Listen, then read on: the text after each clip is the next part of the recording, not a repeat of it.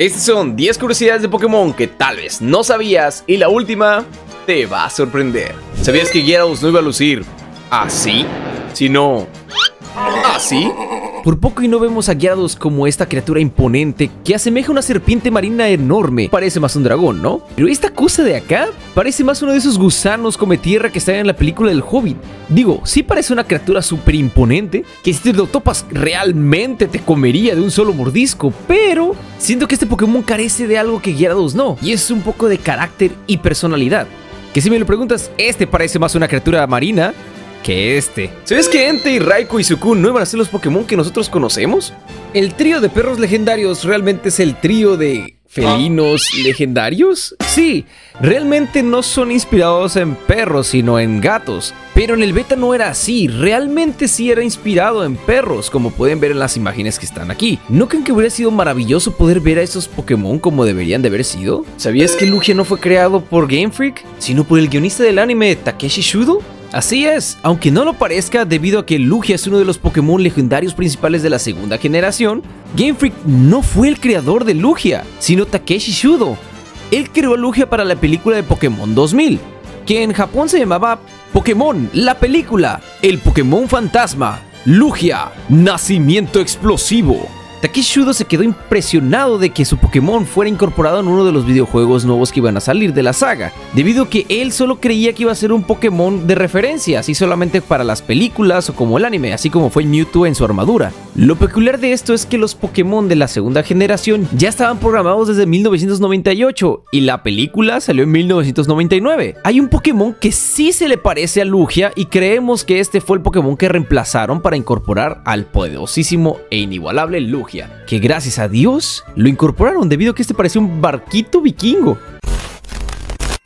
¿Sabías que si te topas con un Pokémon fantasma, es muy baja tu probabilidad de salir con vida? Las entradas de la Pokédex pueden ser muy perturbadoras, pero las más perturbadoras vienen de los Pokémon fantasmas y siniestros, como por ejemplo Haunter. Su lengua está hecha de gas si lame a su víctima, ésta sufrirá constantes temblores hasta que muera.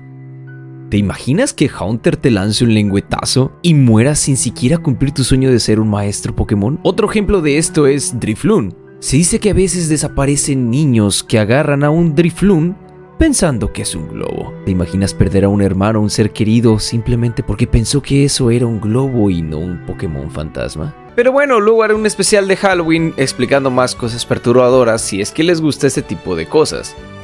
El cabo ya se acerca a Halloween. ¿Sabes que hay un Pokémon fantasma que eliminaron por ser muy perturbador? Este Pokémon Panda Fantasma lo quitaron debido a que es un Pokémon un poco polémico. Y la evolución de este Pokémon es como si fuera un vampiro zombie de los que son de la cultura china. Ves que Blaziken y Latias eran el mismo, como podemos observar, Blaziken y Latias antes eran el mismo Pokémon. Era como si hubieran usado la polimerización de Yu-Gi-Oh! y hubieran hecho este Pokémon. Gracias al cielo dividieron estos dos diseños y crearon dos Pokémon espectaculares. Pinsir va a tener una evolución, ¿sabías? Ese escarabajo iba a ser introducido en la segunda generación, pero al parecer el diseño no estaba tan bien hecho y prefirieron optarlo por hacer otro Pokémon escarabajo, que ese es Heracross. Psyduck iba a tener una segunda evolución. Este Pokémon pato iba a ser la evolución de Psyduck. La verdad está muy horrible. Es un pato gordo sin gracia. Qué bueno que evoluciona directamente a Golduck. ¿Sabes que la segunda generación Totodile y Cyndaquil no iban a existir? En la demo de Oro y Plata de 1997, Cyndaquil no estaba programado. En cambio estaba Honoguma. Este Pokémon era inicial de fuego, que este fue reemplazado lamentablemente por Cyndaquil contaba con sus tres evoluciones, las cuales estoy mostrando ahorita en pantalla. Y con respecto al Pokémon de agua que fue suplantado por Totodile, es la familia de Kurusu. Este Pokémon parecía más como un Lapras, e igual parece ser un tipo agua-hielo. ¿Tú qué opinas? ¿Son mejores los Pokémon iniciales de ahora o los que se perdieron en el beta? Y por último, ¿Sabías que en Alemania pensaban que Alakazam iba a tener otra evolución? Sí, debido a que en Alemania, en vez de decir Abracadabra y Alakazam, ellos dicen Abracadabra Simsalabim. Así que Alakazam en alemán se dice Simsala. Pero ¿dónde quedó Bim? Ese sería el Pokémon que tanto imaginaban que sería la evolución de Alakazam. Y por cierto, si el video te ha gustado, dale like, compártelo con tus amigos y suscríbete, eso me ayudaría a seguir sacando contenido así y espero verte en la próxima. Hasta la próxima.